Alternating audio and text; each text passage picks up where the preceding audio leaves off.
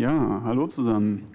Ja, willkommen zum Vortrag New Good Governance, die nachhaltige Informationsorganisation. Ähm, es geht jetzt los und wir haben hier Caroline Krohn. Und äh, Caroline Krohn ist IT-Unternehmerin und Digitalpolitikerin bei den Grünen und hat zusammen mit Honk Hase die AG Digitale Nachhaltigkeit gegründet. Ja, und heute hören wir ein bisschen etwas über das digitale Zeitalter und äh, speziell auch den Umgang mit Daten und wie der möglichst menschenfreundlich gestaltet werden kann. Du darfst weitermachen. Ganz herzlichen Schön, Dank. Vielen herzlichen Dank. Auch danke, dass ihr alle hier seid. Ich bin jetzt einfach mal irgendwie beim Du.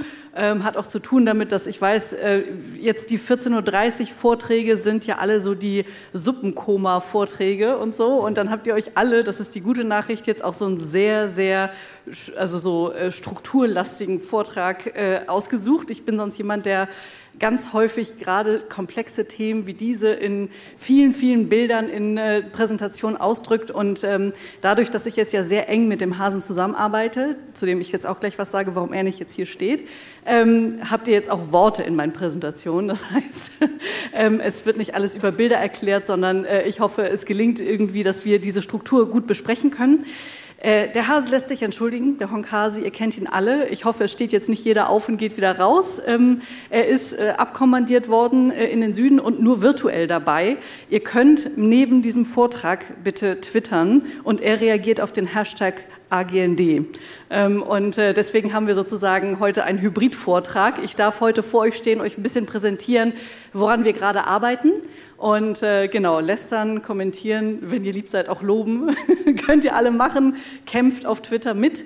Und äh, genau, also ähm, wir haben eine Stunde heute zusammen und äh, ich hoffe, wie gesagt, dass ich diesen Sachverhalt ähm, eingängig und interessant euch darstellen kann, weil wir gerade, der Honkhase und ich ja, wie gerade angekündigt, die AG Nachhaltige Digitalisierung zusammen gegründet haben. Und, Entschuldigung, und äh, wir haben das gemacht, weil wir beide in der IT-Sicherheit unterwegs sind, beide mit dem, was wir beruflich tun, auch viele in der Wirtschaft unterwegs sind, aber mit dem, was wir in, äh, im ehrenamtlichen Engagement äh, tun, halt eben sehr, sehr viel politisch mitreden und, und die öffentliche Debatte mitführen und so. Und was uns aufgefallen ist, ist, dass wir als IT-Sicherheits- ähm, ExpertInnen äh, einen ganz anderen Nachhaltigkeitsbegriff haben in der Digitalisierung als das, was uns eigentlich ganz oft begegnet. Deswegen bin ich super froh, dass ich heute hier auch bei Bits und Bäume sein kann, weil ich das hier so erlebe seit gestern Abend, auch bei den Eingangskeynotes, dass das ähm, extrem gut jetzt ähm, ver, verwoben oder ineinander gebracht wird, was die ökologischen Aspekte der, Nach der Digitalisierung mit den sozialen Aspekten der Digitalisierung zu tun hat. Und das, was wir im Moment immer erleben und erforschen und kommentieren, zeigt eigentlich, dass man immer entweder von Nachhaltigkeit spricht, also viel davon, wie wir eben ökologisch vorgehen, ähm, und äh, aber halt irgendwie nicht über ähm, sozusagen die, die sozialen Aspekte oder die kulturellen Aspekte oder eben auch die Gefahrenaspekte. Und das ist der Grund, warum wir gesagt haben, okay, wir labeln uns jetzt mal zusammen, schmeißen unseren Hintergrund zusammen und versuchen einfach mal das Thema völlig anders aufzuziehen und ähm, werden dann halt seither, also wir waren ganz unschuldig, als wir damit angefangen haben. Wir haben halt gesagt, ja, ja, also ne, wir haben einen anderen Nachhaltigkeitsansatz für die Digitalisierung, die wir meinen, nämlich eine sicherheitsorientierte Digitalisierung, die langfristig die zukünftigen Generationen und die Menschen schützt. Aber ähm, wir müssen das halt irgendwie versuchen, möglichst konkret zu erklären. So, und wie gesagt, diese Unschuld äh, ist halt uns sehr schnell genommen worden, weil seither uns sehr, sehr viele Menschen die Bude einrennen. Sei es, dass sie halt sagen, das ist ein total interessanter Ansatz äh, von euch, da würden wir gerne mitarbeiten, was uns total freut und wo wir noch dabei sind zu überlegen, wie genau das gehen kann sei es irgendwelche Interviewanfragen für konkrete Probleme. Also, ne, also der Honkase ist ja immer bekannt, dass er viel zu äh, kritischer Infrastruktur kommentiert und sagt und auch da seine Expertise mit reinbringt. Und da ist halt eben der Nachhaltigkeitsaspekt immanent auch immer dabei. Äh, wir hatten im Sommer mal Anfragen zu der Frage irgendwie, wie ist das eigentlich mit diesen ähm, Roboterstaubsaugern und die einem halt die Wohnung ausspionieren und so weiter. Ist das eigentlich nachhaltig, sowas zu tun? Ähm, bis hin zu Publikationen. Heute kam die FIF-Kommunikation raus. Ich weiß nicht, wer von euch äh, die liest. Da haben wir uns ähm, geäußert. Also wir haben versucht, möglichst strukturiert eben auch ein Modell zu finden, wo man das Thema nachhaltige Digitalisierung auch im Vergaberecht ähm, äh, anwenden kann. Und so kommen halt eben ein, ähm, sozusagen äh, ein Anwendungsbeispiel nach dem anderen. So, Bits und Bäume haben wir uns geholt zusammen. Ich gehe vielleicht einfach mal weiter in der Präsentation, äh, weil es hier nochmal um eine, ähm, ein, eine Frage von uns ging, mit der wir uns jetzt schon einige Monate beschäftigen, die aber extrem spezialisiert ist, ähm, die sich nämlich sehr stark auf die Wirtschaft eigentlich bezieht, aber wenn man will, auch äh, Organisationen, die nicht Gewinnerzielungsabsichten äh, haben, also alle Organisationen, die eine CISO-Organisation haben. Ne? Also dort, wo es darum geht zu sagen, wir versuchen strategisch aufzuziehen, wie wir eigentlich unser Informationsmanagement im Unternehmen oder in der Organisation gestalten. Das ist natürlich immer auch ein Blick auf die Digitalisierung des Unternehmens, darauf kommen wir gleich zu sprechen. Ähm, aber wie lässt sich das auch nachhaltig gestalten? So, das heißt, das, worüber wir heute reden, ist halt sehr, sehr wirtschaftsorientiert. Mir ist wichtig, dass, äh, dass ihr das sozusagen mit begleitet. Ich habe diese Slides jetzt auch nochmal äh, mit hinzugefügt, weil mir aufgefallen ist gestern, dass ähm, wir hier bei Bits und Bäume wahnsinnig viele Expertisen zu wahnsinnig vielen Themen haben. Also ihr sitzt hier und ich freue mich über jedes Gesicht, das ich hier sehe, äh, insbesondere weil wir ja richtig harte Konkurrenz haben um 14.30 Uhr. Wir haben sehr, sehr viele Vorträge, die alle extrem zu tun haben mit nachhaltiger Digitalisierung in der unterschiedlichen Ausprägung aber es ist halt sichtbar. Wir reden halt teilweise über die Ungerechtigkeiten zwischen dem globalen Norden und dem globalen Süden. Wir reden über ähm, die Anwendung von äh, verschiedenen Ressourcen. Wir reden über soziale Ungleichheiten und all das. Deswegen war es mir jetzt nochmal wichtig, das nochmal stark zu verdichten und zu sagen, in diesem Vortrag, in diesem Forschungsbereich der AGND gucken wir uns erstmal die Wirtschaft an. Jetzt haben wir Frankfurt genommen, weil wir beide halt in der Nähe von Frankfurt sind. Und Frankfurt steht ja immer ein bisschen für Wirtschaft, aber ich, es fiel mir auch schwer, ehrlich gesagt, weil die Wirtschaft ist halt eben nicht nur irgendwie Bankenwirtschaft oder Konzernwirtschaft, sondern die Wirtschaft kann auch die Landwirtschaft sein, kann auch ein kleines Unternehmen sein, ein Familienunternehmen, wie auch immer, jedenfalls äh, sozusagen äh, wirtschaftliches Handeln in einer Organisation. Ähm, und dort könnten wir auch über verschiedene Dinge reden, wenn wir über nachhaltige Digitalisierung reden. Wir könnten darüber reden, wie die ähm, Wirtschaft sozusagen äh, sich auswirkt. So, und wenn ihr den blauen Zirkel seht, dann wäre das ein Aspekt zu sagen, wenn wir jetzt darüber reden, wie ein CISO sein Unternehmen betrachtet, dann könnte er mit Fug und Recht auch sagen, dieses Unternehmen hat einen Impact für die Welt um, drumherum.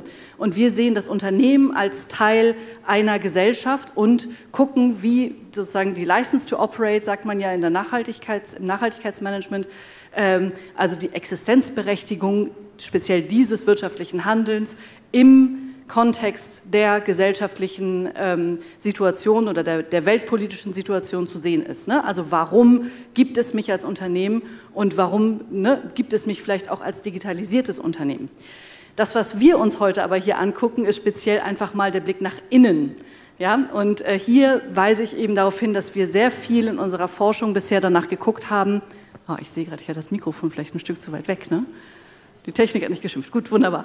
Ähm, also der Blick nach innen bedeutet, wir haben zurzeit schon Strukturen in, sagen wir mal, strukturreiferen Unternehmen, die schon eigentlich dafür sorgen, IT zu betreiben. Ja, äh, genau so können wir uns das, ich hoffe, ich bin jetzt richtig, genau. Ähm, diese CISO-Organisation hat im Wesentlichen zwei große Blickwinkel und hat halt irgendwie, guckt sich an, wie baue ich eigentlich die Organisation so auf, dass die Digitalisierung meines Unternehmens bestimmte ähm, sozusagen Dienste leisten kann. Ähm, und da gucke ich mir eben an, wer sitzt wo. Ne? Also beispielsweise in einer Organisationsstruktur oder entscheide ich mich für eine Organisation mit einer flachen Hierarchie.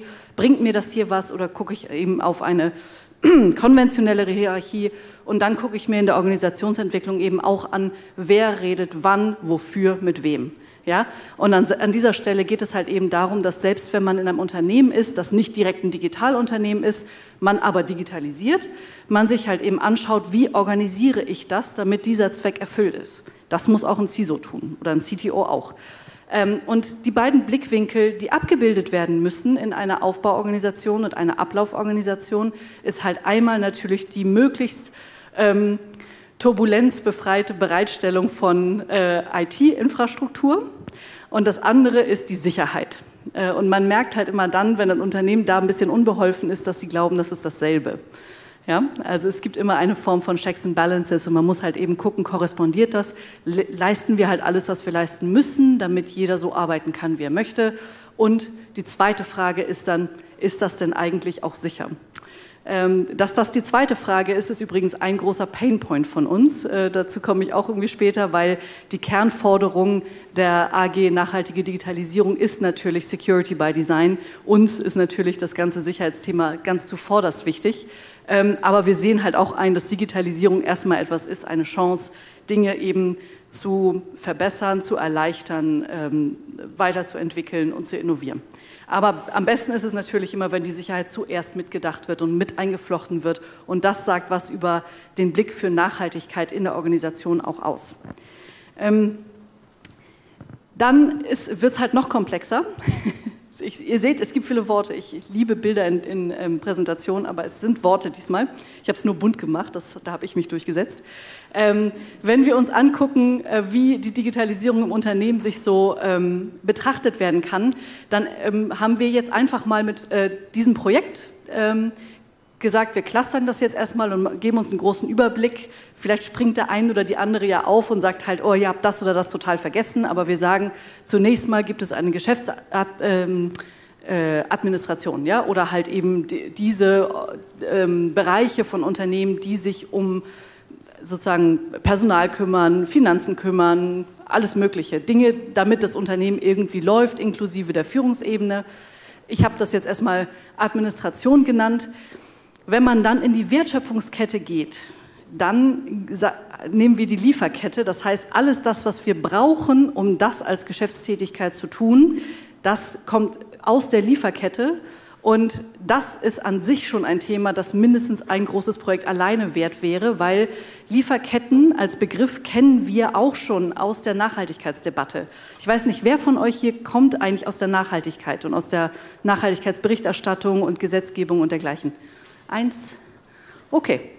Okay, also dich werde ich angucken, du kennst das, ne? Lieferkettengesetz, Sorgfaltspflichten, all diese Dinge. Das heißt, ne, wir haben als Unternehmen inzwischen einen regulativen Rahmen, der da sagt, ihr Unternehmen müsst jetzt bestimmte Dinge berichten, begründen und tun, damit ihr als nachhaltige Unternehmen irgendwie firmiert. Aber es bleibt nicht dabei, dass nur ihr selber als Unternehmen diese Nachhaltigkeit so ähm, umsetzt, sondern ihr müsst auch dafür sorgen, dass die Unternehmen, die euch nachgeordnet ist, sind oder vorgeordnet in diesem Fall, dass die die gleichen Standards haben wie ihr. Das heißt, der Staat, ich bin vielleicht mal so frech, ich hoffe, es kommt Protest, sagt halt einfach, dass die Unternehmen diese staatliche Aufgabe der Kontrolle für sie übernehmen sollen und sagen sollen, so, diese Kontrollfunktion, dass auch die Nachhaltigkeit, wie wir sie uns vorstellen, sich erschreckt auf den, erstreckt auf den Zuliefermarkt, dass das auch passiert. Ja? Aber der Staat hat sich eigentlich was anderes gedacht. Also der Regulator dachte sich eigentlich, wir wollen vermeiden, dass Unternehmen kleinere Unternehmen ausgründen, damit diese kleinen Unternehmen sich um die Regulation rumschlängeln können. Das war, glaube ich, ursprünglich die Idee. Und äh, das ist nicht gewollt und das ist auch gut so. Aber das führt halt zu einer Dynamik, dass insgesamt man sich erhofft, dass der Qualitätsstandard wirtschaftlichen Handelns insgesamt erhöht. Ja? Und ich finde und wir finden, es bräuchte eigentlich auch ein Lieferkettengesetz für Digitalisierung. Ja? Also so viel schon mal an der Stelle dazu. Ähm, so, also das heißt, alles, was kommt, bevor ich ein Produkt baue, entwickle, zusammensetze. Hier ähm, sei gesagt, ich habe ein, äh, eine kleine Sache ausgelassen an der Präsentation es ist ja nicht immer nur ein Produkt. Also es ist ja nicht immer nur etwas Haptisches, was wir haben, was wir als Unternehmen produzieren, sondern ganz häufig produzieren wir auch Ideen, wir produzieren aber vor allen Dingen auch Dienstleistungen. Ja? Das heißt, also um zu einer Dienstleistung zu kommen, braucht man auch eine gewisse Lieferkette und man braucht allemal Administration. Aber was wir halt meinen mit Produktion an der Stelle ist der Weg zu dem, was wir verkaufen. Und das Produkt ist dann, ob das ein haptisches Produkt ist oder eine Dienstleistung, eine Beratung oder was auch immer, ist halt ein Endprodukt und es wird dann komplex. Aber wie gesagt, ne? So, und ähm, der, der CISO muss sich diese Dinge ähm, im Blick behalten, im Kontext der Dinge, die ich schon vorher gesagt habe. Das heißt, es ist sozusagen, äh, also wenn ihr das als Modell ausdrucken würdet, wäre das halt ein 3D-Modell mindestens oder mehrere sogar. Das heißt, wir müssen diese Schichten alle übereinander legen, weil diese vier Bereiche haben einzeln genommen ja auch eigene Digitalisierungsprobleme und eigene Fragestellungen, wie wir die Digitalisierung da verantwortlich, sage ich jetzt einfach mal, statt nachhaltig, weil ich benutze das Synonym, ähm, verwenden. Ja, so und um es halt jetzt noch mal ganz verwirrend zu machen, aber hinterher wird es hoffentlich besser, ähm, gibt es Leute, die an der Stelle schon schreien und sagen, ah, ihr beiden, ihr seht das ja alles irgendwie, ihr werft alles in einen Topf. Es gibt doch Unternehmen, die sind doch erst als Unternehmen, als digitale Unternehmen gegründet. Die machen ja alles über Slack, da gibt es gar keine Administration oder so, ja. Und dann gibt es halt eigentlich nur Apps und die sind halt nachhaltig und alles ist prima, ja. So, oder so. Ich hatte das zum Beispiel, als ich mal beraten habe im Bereich ähm, der Nachhaltigkeit und Nachhaltigkeitsberichterstattung. Da gab es zwei DAX-Unternehmen im Pharmabereich, die mir entgegengeworfen haben, wir brauchen gar keinen Nachhaltigkeitsbericht, Frau Krohn. Unsere Produkte an sich sind schon so nachhaltig. Ich lasse das hier einfach mal so unkommentiert. Ähm, aber das ist halt der Grund, warum wir gesagt haben, okay, wir müssen schon auch noch mal im Phänomen unterscheiden zwischen den Unternehmen, die aus dem Konventionellen kommen und sich digitalisieren und das richtig machen wollen, und den Unternehmen, die quasi schon digitalisiert sind. So, ja. Genau, und ähm, der Grund, warum ich euch das alles so erzähle, ist natürlich, ähm, dass wir uns beide erhofft haben, der Hase und ich, ähm, dass wir auch von euch ähm, da sozusagen eine Rückmeldung bekommen können, ob wir halt in dem Bereich richtig liegen. Weil uns ist halt wichtig mit der AG Nachhaltige Digitalisierung, dass wir langfristig eine Art Modell bauen, ein Schema, eine Schablone oder gleich oder ähnliches, ähm, das halt, also das Modell, das im Prinzip fair umgeht mit Unterschieden aber doch einen Standard erfüllen, nachdem wir sagen können, das ist eine nachhaltige Digitalisierung. Ja? Und das ist eine Herausforderung, gerade bei diesen komplexen Dingen. Das ist auch der Grund, warum wir uns entschieden haben, heute mit euch über Wirtschaft zu reden. Ne? Ich weiß nicht, wie viele andere Wirtschaftsvorträge es hier so gibt, aber ne, das war für uns sehr, sehr wichtig, weil ähm, hier merken wir, wir könnten natürlich pauschal sein und die Art und Weise, wie wir beide twittern, ne? Honkase und ich, ich wenn ihr uns folgt, ähm, dann wird euch ja das ein oder andere Brandroden begegnet sein und dergleichen. Das kann man auch sagen, das tun wir. Ich sehe, Thorsten hat zwar eine Maske vorne, aber er lacht. Ähm, aber nichtsdestotrotz müssen wir natürlich sehen, wenn wir so eine ganz konkrete Forderung aufstellen und sagen, wir möchten gerne, dass Digitalisierung, wie sie gerade passiert, besser wird, dann müssen wir das auch untermauern mit einem sehr sinnvollen äh, Konzept. Und das ist halt eben das, was, äh, was wir hierher bringen.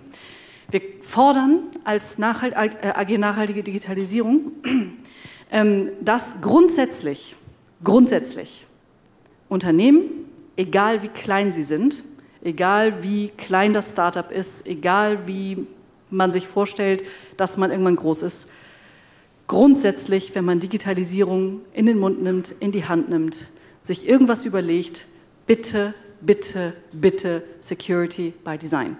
Ja? Und wenn das Unternehmen tatsächlich alle täten oder Initiativen, dann hätten der Honkhase und ich beruflich nicht mehr so viel zu tun, ja, weil wir IT-Sicherheitsberatung machen. Aber es ist vielleicht auch, äh, ja, also das, darauf verzichten wir dann halt gerne, wenn das tatsächlich so ist, denn das macht uns alle sicher. Wir haben halt Netzwerkeffekte, die man aus der konventionellen Welt so nicht kennt. Und wir sind immer so sicher wie der unsicherste von uns. Und das ist der Grund, warum wir das Thema angehen müssen.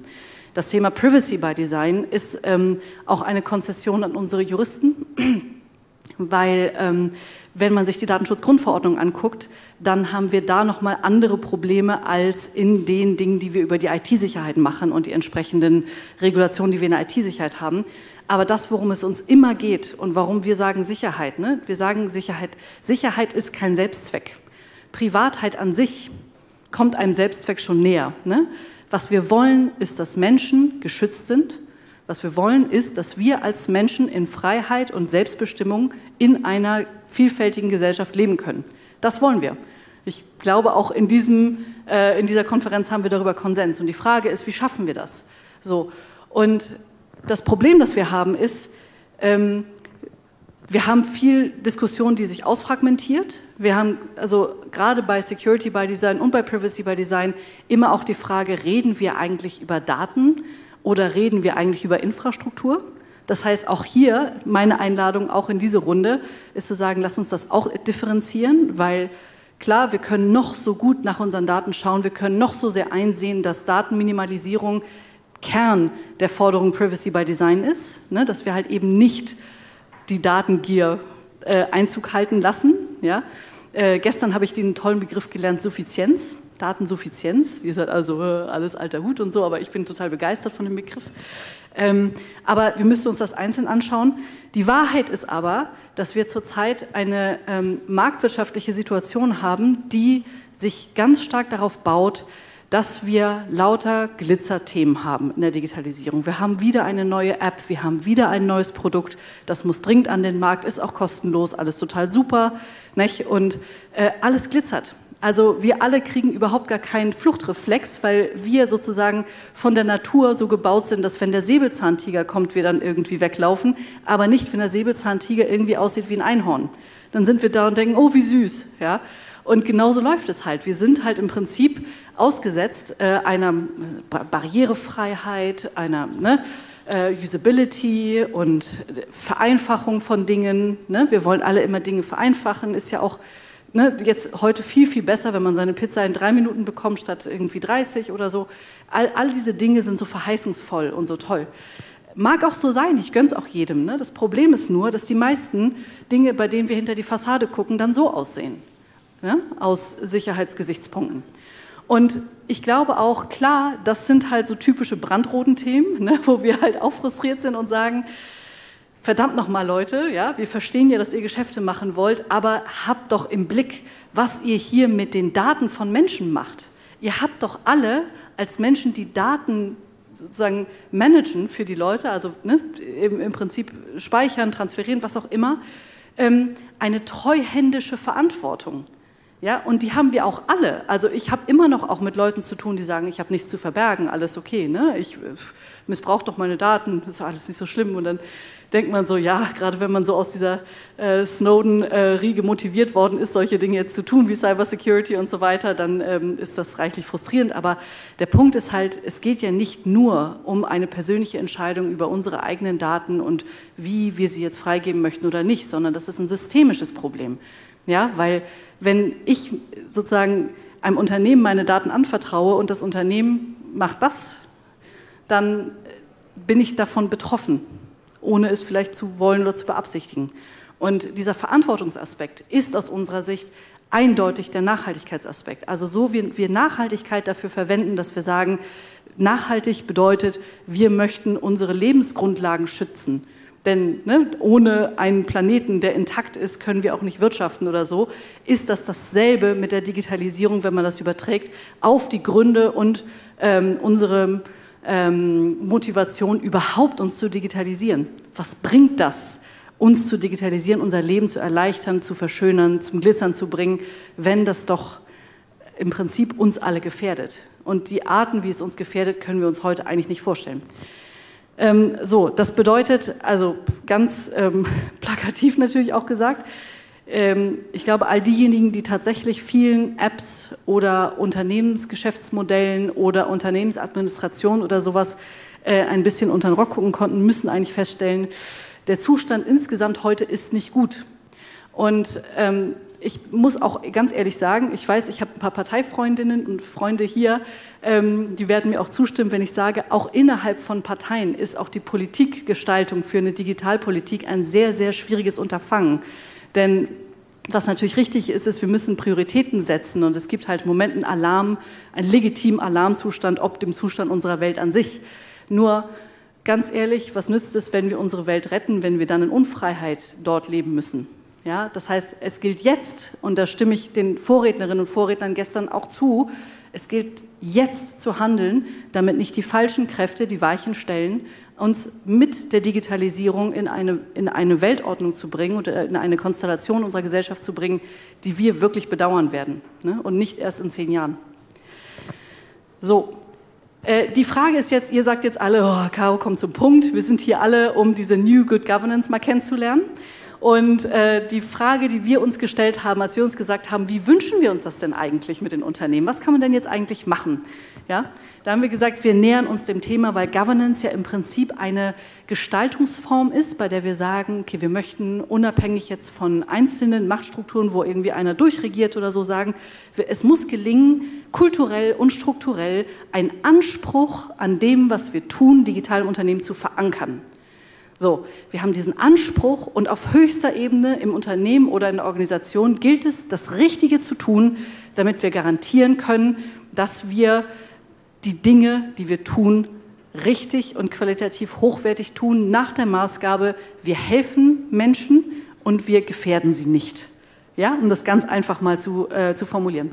Und wie gesagt, auch aus der Nachhaltigkeitsberichterstattung kommend, muss man sich halt natürlich dann fragen, was sind denn Kriterien, nach denen wir diese Struktur bauen können, eine, eine Organisationsstruktur für ein Unternehmen. Ähm, und ähm, wir reden ja in der IT-Sicherheit immer von Risiken. Ne? Ich werde auch ganz häufig von Kunden oder potenziellen Kunden oder welche, die es dann nicht mehr werden wollen, äh, gefragt, könnt ihr nicht irgendwie eine Art Ampelsystem machen?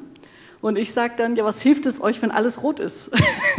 also grün ist hier selten was. Ja, man kann natürlich sagen, okay, die Leute kriegen E-Mails, das ist gut, das ist grün. Ja?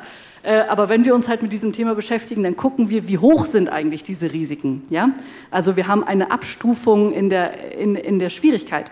Aber auch wenn wir uns Risiken angucken, also wir haben ja sozusagen Schadenshöhe und Schadenseintrittswahrscheinlichkeiten sind ja das, was ein Risiko bilden.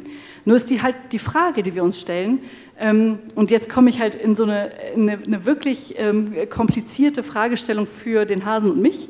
Ähm, die Fragen, die wir uns stellen, ist, haben wir eigentlich eine, ähm, ein Risiko, wenn wir in Startups gucken zum Beispiel oder in Ventures oder was auch immer, in jeder Art von Unternehmen, haben wir da eigentlich ein Risiko, weil, ich, ich sage es jetzt offen, weil das Arschlöcher sind und die halt, denen das völlig egal sind, was sie machen mit den Leuten. Ja, sorry, ich habe Arschloch gesagt, ich sage es nochmal. Ähm, und dann haben wir natürlich äh, intendierte Schäden für die Gesellschaft, ja.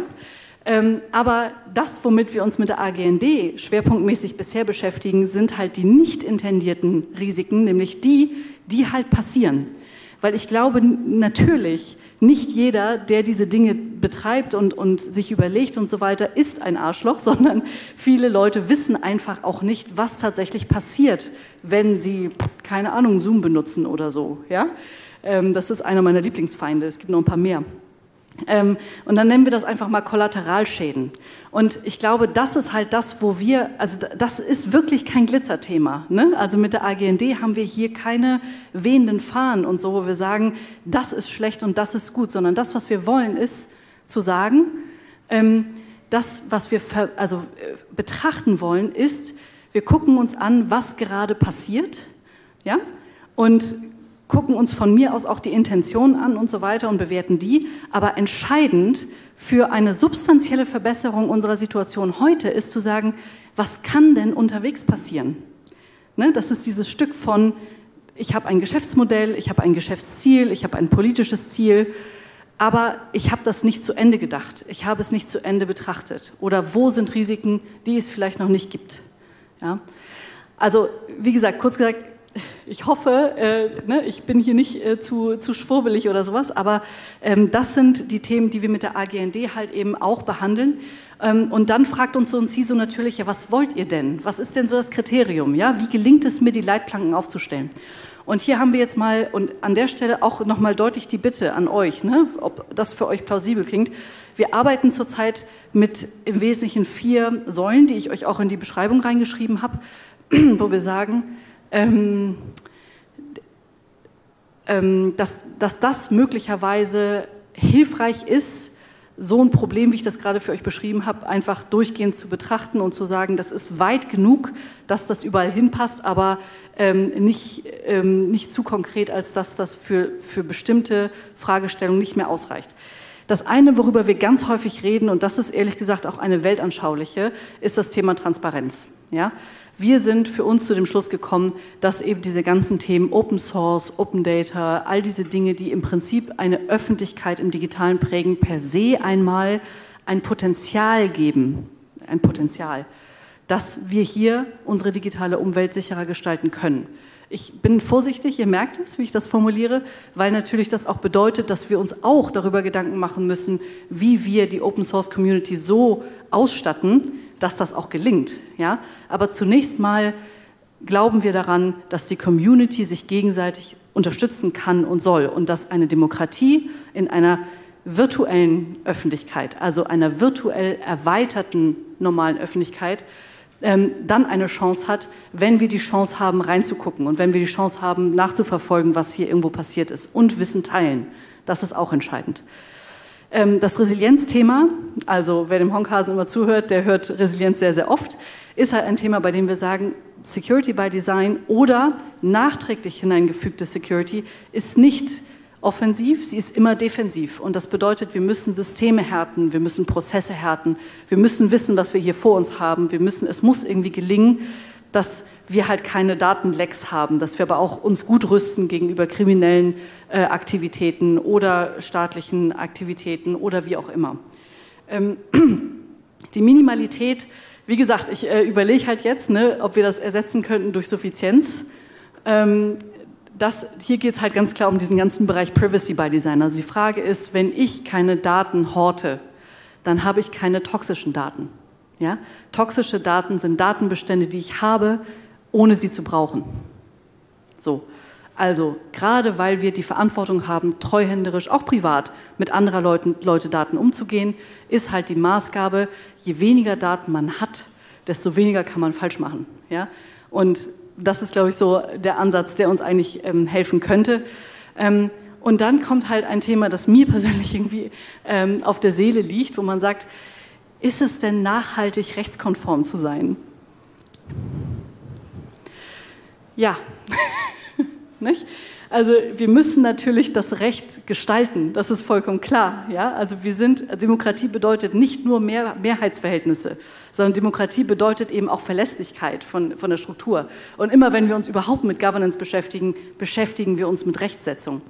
Nur das, was halt im Moment so krass ist, ist, dass wir eine Rechtsprechung, also eine, eine, eine Rechtssituation haben, die theoretisch uns schon ein ganzes Stück weiterbringen könnte, wenn wir sie befolgen würden.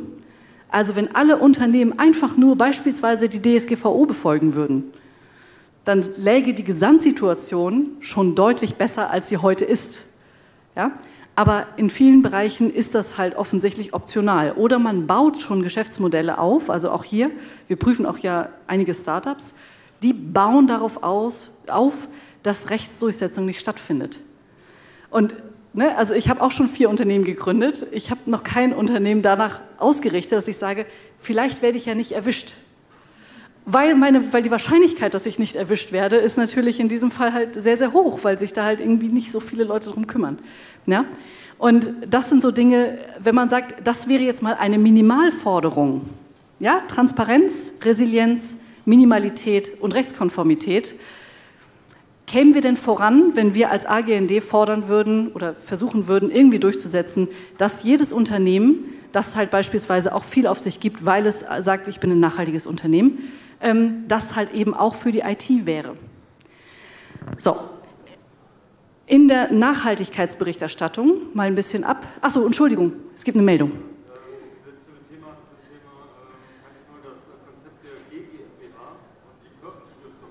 Ja,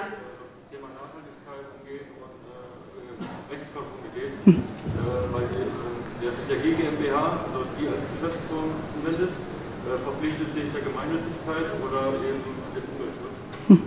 Und äh, sichert sein Unternehmen gleichermaßen ab gegen Missbrauch und äh,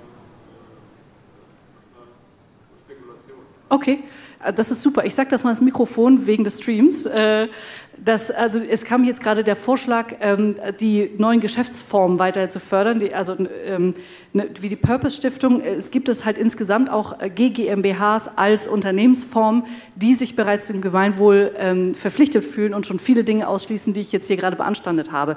Vielen herzlichen Dank, das ist ein wichtiger Hinweis, das stimmt. Ähm, da habe ich auch schon einiges auch ähm, politisch damit gemacht. Ich habe auch zum Beispiel mal versucht, mit Gewerkschaften darüber zu reden, wie GmbHs sich auf Gewerkschaften auswirken. Auch ein spannendes Thema, können wir auch nochmal drüber reden. Aber das ist sehr, sehr wichtig, das nehme ich mit. Vielen Dank. Ähm, genau, zum Thema. Achso, war da noch eine Frage? Ihr könnt gerne zwischendurch, weil ich, ich weiß halt, das Thema ist so, ich freue mich über jeden, der irgendwie gedanklich äh, noch dabei ist. ähm, das ist jetzt sozusagen, also final äh, ein Vorschlag oder jetzt mal ähm, ähm, eine, eine mögliche Herangehensweise. Weil, äh, wie gesagt, ich war vorher äh, unabhängig von Digitalthemen auch schon mal befasst mit der Frage der Nachhaltigkeitsberichterstattung.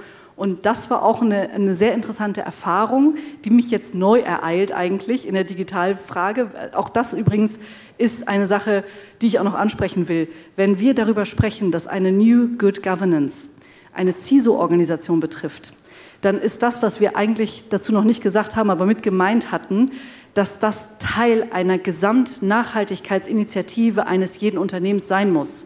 Zurzeit findet irgendwie Nachhaltigkeitsmanagement und Nachhaltigkeitsberichterstattung statt, neben der Frage, wie wir sozusagen unser Unternehmen digitalisieren. Das geht so natürlich nicht. Ne? Und äh, insofern ist halt die Frage, wie gelingt das, alle Daten zu sammeln, die in einen Nachhaltigkeitsbericht reingehören und die IT dabei bitte mitzudenken. ja? Und alle digitalen Produkte, die mit dabei sind, weil ein Unternehmen ist ja ohne Digitalisierung gar nicht mehr denkbar.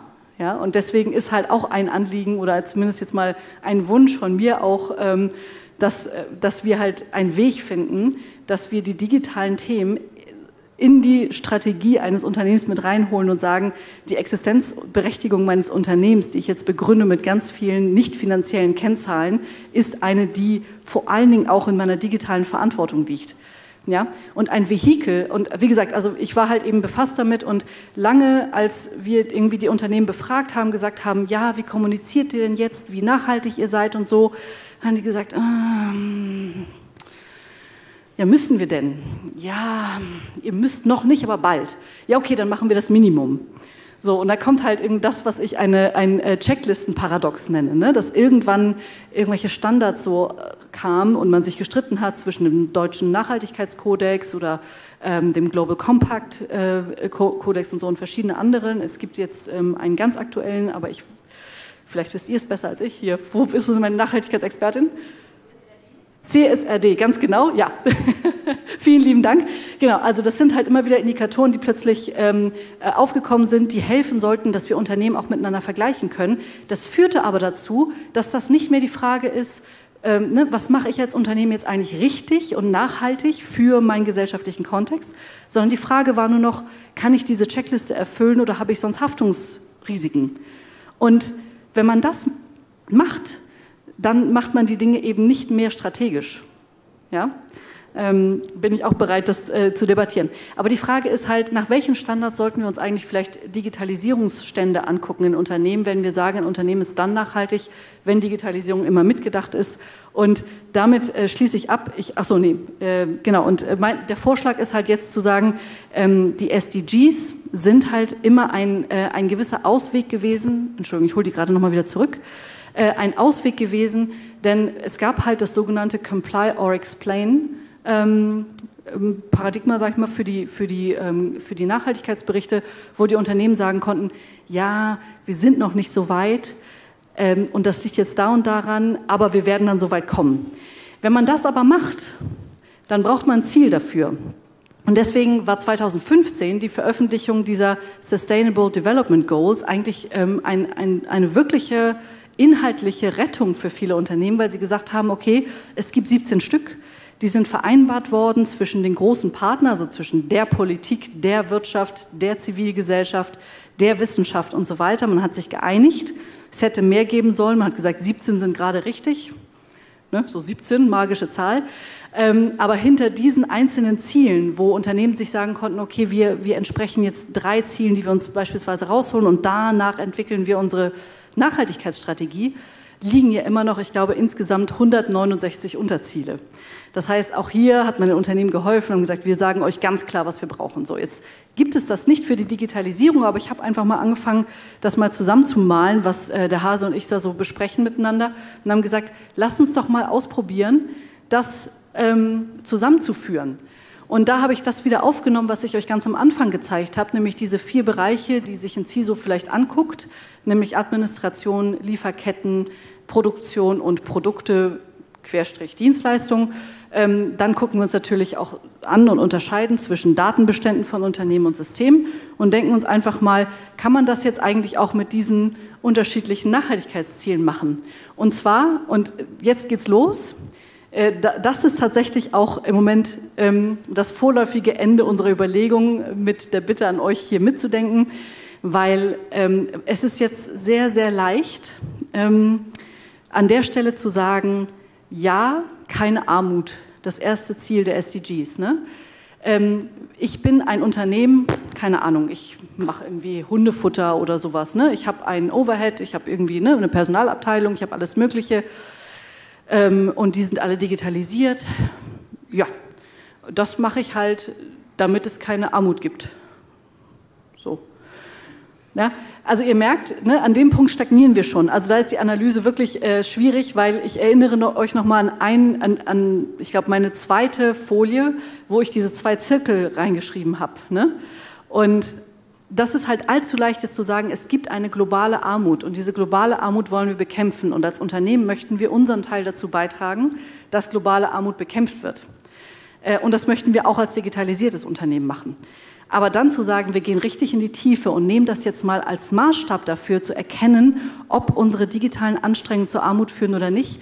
Ähm, also wie gesagt, versuchen wir mal das Ganze innerhalb eines Unternehmens sich anzugucken. Also wenn ich beispielsweise eine Buchhaltungssoftware installiere in meinem Unternehmen, in meinem Hundefutterproduktionsunternehmen und damit wird die Buchhaltung entlastet. So, kann ich dann eine Gefahr haben, beizutragen zu globaler Armut?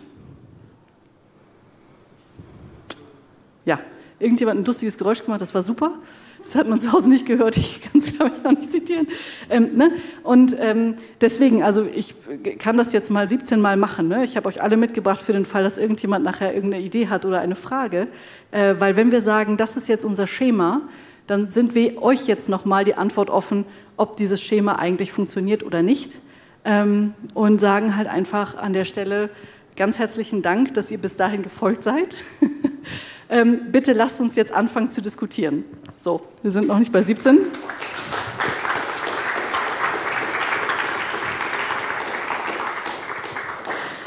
Aber ich möchte einfach an der Stelle, ne, ich bin jemand, der sich nicht kurz fassen kann. Und ich hab, wir haben versprochen 40 Minuten Vortrag und äh, das andere ist Diskussion und das ist jetzt eine Punktlandung also an der Stelle. Danke auch an euch. Ja, ja da klatscht schon jemand, sehr gut. So, ich möchte bitte Fragen oder Kommentare hören. Äh, seid bitte taktvoll. Möchtest du ein Mikro oder soll ich es wiederholen? Ja, der Stream dankt es dir. Hallo, ich äh, bin Maria von der Barmer und äh, für das Thema CDR dort verantwortlich. Ähm, ich finde das total spannend, diese Aspekte mit den einzelnen SDGs zu kombinieren. Habe ich so noch nicht gesehen. Aber ich wollte mal fragen, ob du ähm, die äh, DRGs kennst, die Identity Valley zusammen mit dem Eco-Verband und irgendwie tausend anderen Stakeholdern noch erarbeitet hab, äh, hat. Das habe ich nämlich äh, also zum einen beim CDR Award gesehen, den die, glaube ich, gewonnen haben und äh, tatsächlich jetzt die Woche erst ganz frisch erklärt bekommen nochmal. Und äh, da geht es ja darum, dass man sagt, man erweitert einfach die Ziele um weitere Goals für den Bereich Digitalisierung. Das wäre ein bisschen eine andere Herangehensweise. Dann würde man zum Beispiel Cybersecurity, Digitalkompetenz und so weiter dazustellen, aber das würde wahrscheinlich nicht die Frage lösen, ob man damit eben Armut kreiert oder nicht. Deswegen finde ich das total spannend und würde gerne einfach das in die Diskussion geben. Was wäre der richtige Weg oder braucht es vielleicht beides? Also sofern jetzt keiner direkt aufspringt, ne, sage ich dir, oh, wir haben ein erstes Aufspringen. Möchtest du direkt, soll ich aufhören zu reden? Okay, okay. okay. Okay, gut, wunderbar. Dann, äh, dann wird, kommt zu dir das Mikrofon, hoffentlich gleich. Und äh, ich sage kurz was dazu. Also ja, ich kenne die Initiative. Es gibt auch noch mehr.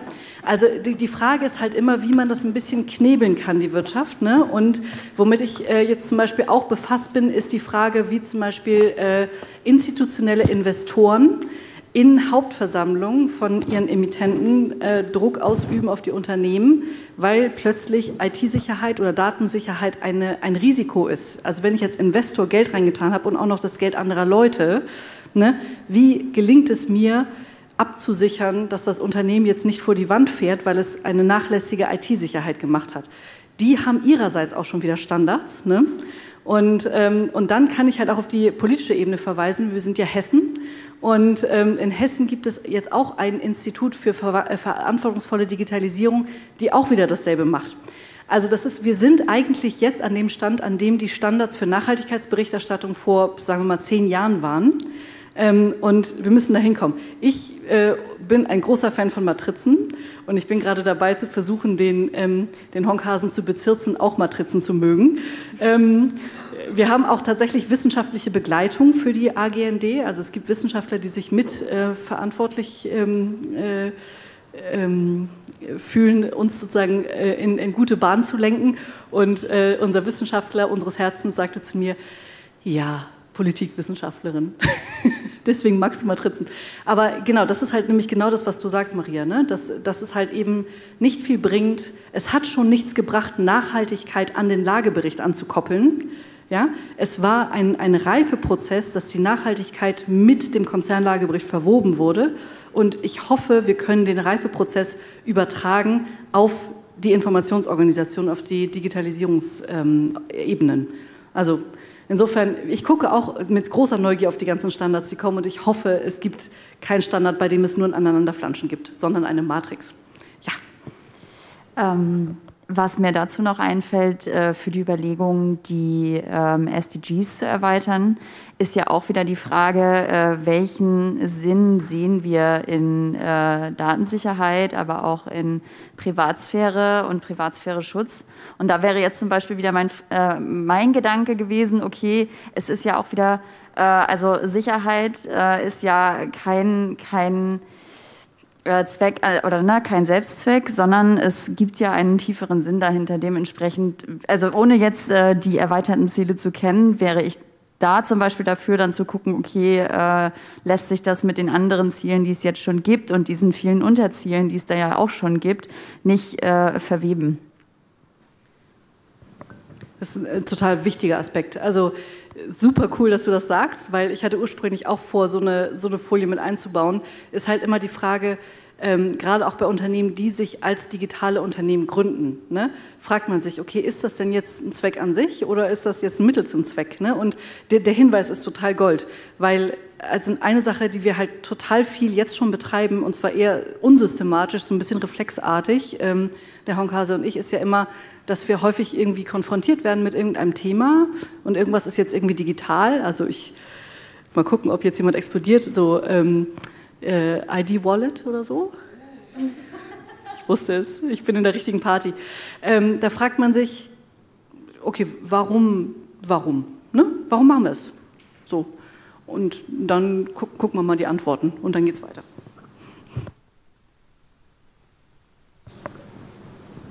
Ah, weitere Fragen.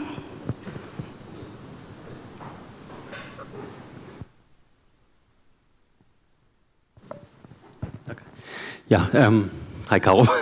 also äh, um Transparenz erstmal herzustellen, wir arbeiten für dasselbe Unternehmen, aber trotzdem kriegst du jetzt eine äh, Frage, die dir wahrscheinlich das Leben ein bisschen schwer macht. Ähm, ihr stellt sehr auf das Risikomanagement als zentrales System ab. Ähm, und meiner Meinung nach ist das Risikomanagement ja ein absolut utilitaristisches Prinzip, ne? ähm, das total eng verwoben ist mit dem Kapitalismus an sich ist das das richtige oder der richtige Mechanismus, um dann auch solche Abwägungen zwischen den verschiedenen Dimensionen der Nachhaltigkeit treffen zu können, ähm, wenn man sich dann einen Mechanismus bedient, der eigentlich zwangsläufig immer dazu führt, dass die ökonomische Dimension alle anderen Dimensionen komplett überlagert und immer nur dazu führen wird, dass es letztendlich immer nur ums Geld geht.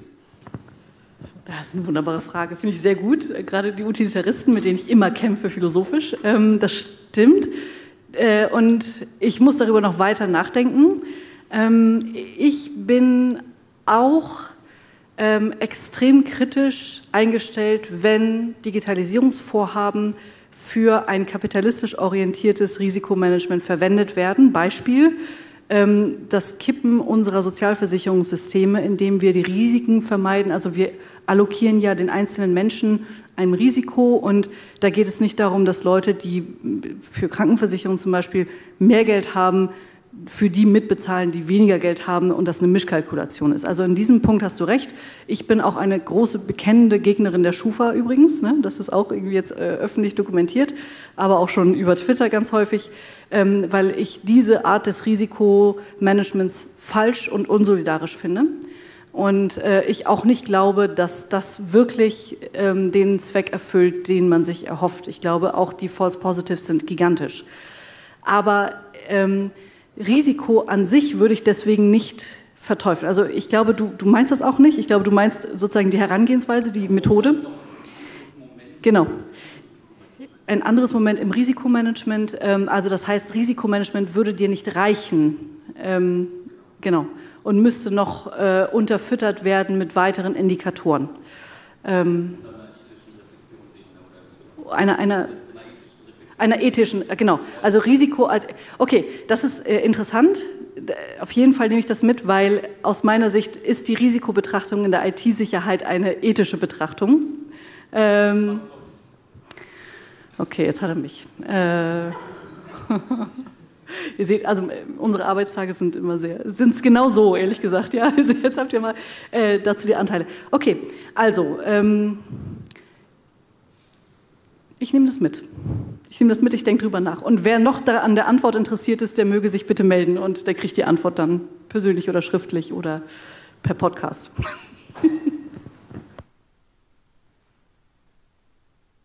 Ich liebe solche Fragen auch, ich muss es euch sagen. Super.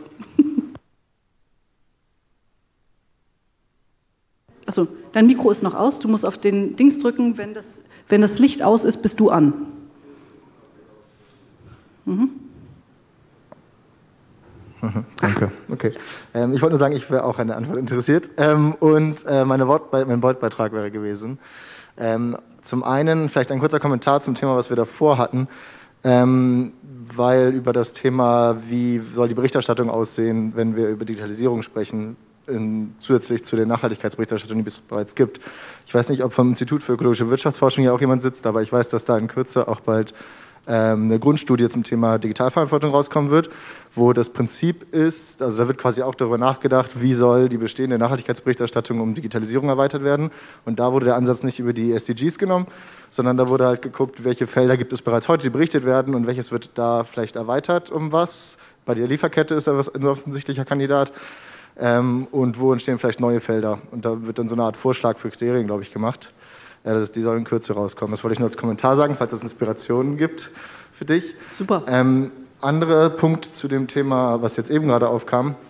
Ähm, da hätte ich gedacht, und das war so ein bisschen was, was ich aus dem Vortrag mitgenommen habe, dass jetzt so das Thema Governance, Organisationskultur, Struktur und so weiter rauskommt. Weil, ähm, also ich fand den Punkt interessant, dass äh, bemängelt wurde, was, was halt anscheinend in der Praxis einfach wirklich ein Problem ist, dass äh, diese, diese Compliance-Kultur, diese Checklist-Mentalität in der Nachhaltigkeitsberichterstattung schon gibt. Und ich schätze mal, das wird dasselbe Problem dann auch in der Digitalisierung sein. Und ähm, da gibt es ja auch von der EU schon, glaube ich, seit diesem Jahr in so einem Report diese Twin-Transformation oder, oder Zwillingstransformation, wie man das nennen will, ähm, wo ich auch den Eindruck hatte, dass ganz viel jetzt ähm, beim das Zusammendenken dieser beiden Transformationen gedacht wird. Nachhaltigkeit und Digitalisierungstransformation wird, ist damit gemeint. Und da hatte ich auch so den Gedanken, was ich mich gefragt habe, was deine Meinung dazu gewesen wäre, ist da dann der übergreifende Begriff, was beide gemein haben, das Problem mit so einer Art Organisationskultur, ähm, ähm, würde man so vielleicht, wir wollen am Ende ethische Entscheidungen treffen und nicht nur so eine Checklisten-Dings, ist da gibt es dann ja Managementliteratur, die dann so sagt, ja, wenn wir Zwecke und bestimmte Kulturen fördern, Verhaltensweisen in Unternehmen, ist das dann vielleicht irgendwie so eine Art Antwort oder auch vielleicht auch die Gemeinsamkeit in, in den beiden Themen? Das ähm, ja. hatte ich irgendwie so ein bisschen erwartet, dass das als Antwort kommt. Ich weiß nicht, was du dazu denkst. okay, also super, auch perfekt, ja. Also in der Tat, was mir immer fehlt in der Wirtschaft ist, dass man sich die Zeit nimmt zu fragen, was ist denn der Geist dieses Gesetzes? Ne? Also alle hassen die DSGVO. Ich sage euch ehrlich, für mich, ich würde mein Schlafzimmer damit tapezieren. Ich liebe dieses Gesetz. Ja? Also ähm, das ist, äh, Bürokratiemonster wird es nur, wenn es so ein Checklistengesetz wird. Aber ähm, dein Hinweis ist auch äh, vollkommen richtig. Ähm, wir haben jetzt dieses Modell gebaut und dieses Modell ist ein Strukturmodell. Und keine Struktur ist stark genug, eine Kultur zu prägen, glaube ich. Ja, das heißt, also, und das ist ein super Hinweis. Ich hatte das auch mal irgendwann in einem äh, Think Tank zu Ethik am Kapitalmarkt. Gibt es wirklich? Ähm, auch mal die Frage, ähm, ja, oh, wir finden alle Compliance blöd und so weiter, aber also wenn jemand jetzt was falsch macht am Kapitalmarkt, das ist zwar noch näher an der Wirtschaftskrise dran, ähm, wenn da jemand was falsch macht, dann muss der halt sanktioniert werden, dann muss der halt bestraft werden. Und ich sehe, ja, das hilft, oder was? Nicht? Also ich meine, ja, ich rede ja auch über Rechtskonformität und über, äh, nee, über Rechtsdurchsetzung und so weiter. Und ich, das ist natürlich wichtig. Aber ich habe also als Gegenbeispiel in diesem Think Tank mal gesagt, ja, ich unterrichte ja auch. Ne? So. Und die Leute so, hm. Und ich sage, ja, wissen Sie, bei meinen Studenten ist das so, ich habe festgestellt, das hilft einfach, wenn ich denen ab und zu mal so einen Schlag auf den Hinterkopf gebe. So, bumm, dann denken die mehr. Und die ganzen Teilnehmer dieses Think Tanks waren so, äh, was machen Sie? Und ich so, ja, ein bisschen hauen, geht, super für Studenten und so. Ne? Das heißt, äh, also, meinen Sie das ernst? Oder was? Ich so, ja, ja. Und dann sagen sie, ähm, das können Sie auch nicht machen. Und dann fingen sie an, sich aufzuregen und so. Ne? Und dann habe ich irgendwann gesagt, okay, ich sage Ihnen das mal ganz deutlich, ich schlage keine Studenten. Und dann so, Gott sei Dank. Ne? Er hat gesagt, ist Ihnen aufgefallen, dass Sie sich, dass das schon ganz schön komisch war, dass ich gesagt habe, ich schlage Studenten? Und die so, ja. Nicht so, haben Sie auch so reagiert, als Sie das erste Mal von Cum-Ex erfahren haben? So, das heißt, also für die Leute ist das halt noch nicht pervers genug. Ne? So. Und äh, insofern müssen wir dahin, da stimme ich zu, dass wir uns sozusagen IT-Sicherheit oder die Sicherheit, die Unversehrtheit von Menschen kulturell verankern. Und zwar nicht im Sinne einer großen, breiten Kultur, sondern in der Gesellschaft brauchen wir eine kulturelle Norm, bei der wir zusammenzucken, wenn Dinge passieren wie WhatsApp. Ne? Dass wir alle so, hä, wirklich? Das gibt's? Ja, da müssen wir hin. Und das müssen wir in Unternehmen definitiv. Ja, das muss gelingen, dass ein Unternehmen ähm, so, sozusagen so zu gestalten, dass Unternehmenskultur so ist, aber es hilft uns auch nicht, wenn das nur Unternehmen ist. Also genau wie wir in der Pandemie gemerkt haben, es bringt nichts, wenn man sich nur bei der Arbeit die Hände wäscht und nicht auch zu Hause. Ne? Wir brauchen das gesellschaftlich als Kultur dass wir uns hinreichend entrüsten, wenn Leute Daten missbrauchen. Ja? Und ist man da nicht auch ganz schnell bei so einer Thematik wie, so, wie, mit, wie wird mit Fehlern umgegangen, Fehlerkultur und, und Diskussionskultur? Weil wenn ich die DSGVO als etwas ähm, verstehe, jedes Mal, wenn ich was falsch mache, kostet es mein Unternehmen extrem viel Geld. Das weiß die Führungskraft, ähm, ist dann super sensibel mit dem Budget und kommuniziert das nicht im Sinne von, Leute, es gibt irgendeinen größeren hinterliegenden Zweck, warum wir darauf achten sollten, sondern es ist einfach teuer, achtet darauf, dann ändert sich halt die ganze Thematik auch, wie man darüber nachdenkt. Ja, also bei der ganzen Nachhaltigkeitsdebatte, also die Nachhaltigkeit ist ja der Versuch einer Verkapitalisierung äh, eines eigentlich trivialen Menschenverstands. Ne? Also wir haben versucht, über Mechanismen, bei denen wir sagen, dort, wo es dich piekt, dich Unternehmen, weil du möglicherweise Geld bezahlen musst, packen wir dich an, damit du das Richtige tust. Ja? Ganz teleologisch. Ähm, aber äh, wie gesagt, also das, ähm, ich, ich glaube persönlich, dass, ähm, dass das auch nicht reicht. Ja? Also dass wir wirklich dahin müssen, ähm, ich meine, du hast es halt auch schon selber gesagt, ne? also dass, dass, dass man versteht, warum das eigentlich wichtig ist. Und bei, bei einer Fehlerkultur, ich sag mal so, wenn wir Equifax uns angucken und sehen, dass 250 Millionen personenbezogene Daten inklusive Sozialversicherungsnummern und Kreditkartennummern irgendwo in den Äther verschwunden sind, dann habe ich auch eine geringe Neigung zu sagen, hups, war ein Fehler. Kann halt passieren. Ne? Und wir müssen uns irgendwie auch tatsächlich das Gewicht angucken, dessen, womit wir hier alle operieren und was das bringt. Man verliert nicht einfach nur Daten, sondern ja. man gefährdet Existenzen. Und deswegen Fehlerkultur, okay, aber in dem Fall. Die würde sich nicht. halt hoffentlich anders ausdrücken und nicht in dem Moment, wo ich 100.000 Kreditkartendaten verliere. Genau. Okay, vielen Dank.